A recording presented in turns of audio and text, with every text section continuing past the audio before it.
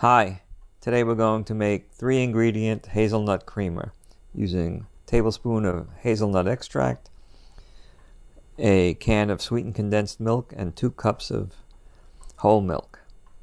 Okay, to start, put the milk in the blender. And you don't have to use a blender. You can mix it by hand, but it just makes it a lot easier. Then we add tablespoon of uh, hazelnut.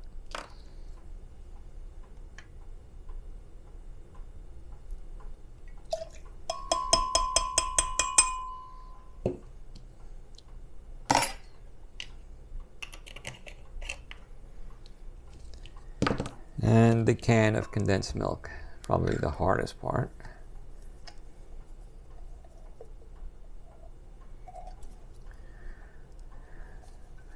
Getting it out of the can. You'll need a spatula.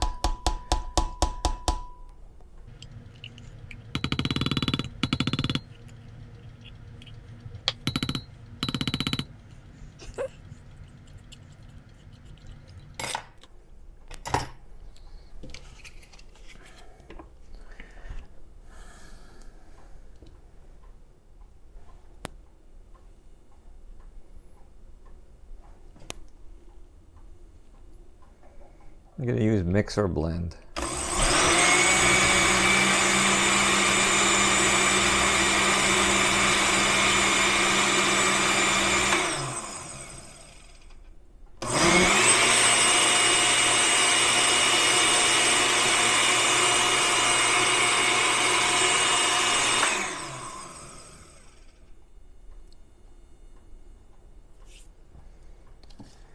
That's it really. Now just pour it into a container. I use an old container from a creamer, from a store-bought creamer.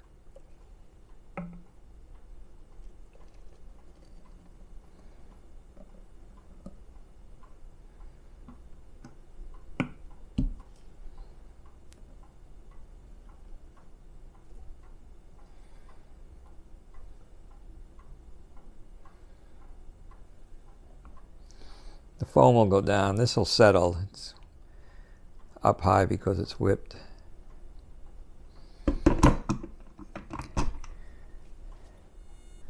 Uh, there you go. Now we just add it to a cup of coffee.